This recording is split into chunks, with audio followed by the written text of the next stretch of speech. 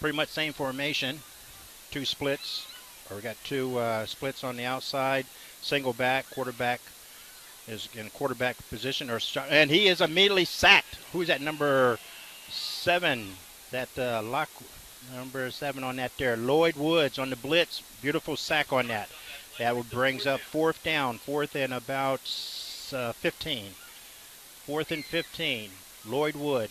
You're going to hear that name a lot tonight.